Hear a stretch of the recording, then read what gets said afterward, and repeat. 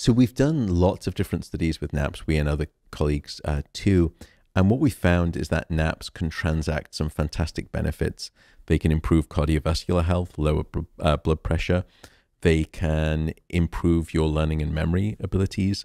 They can reset the emotional north of your magnetic compass in a good way, where you can de escalate negative emotions and increase positive emotions. Um, so, naps certainly are a good thing, but with a big caveat that I'll come back to.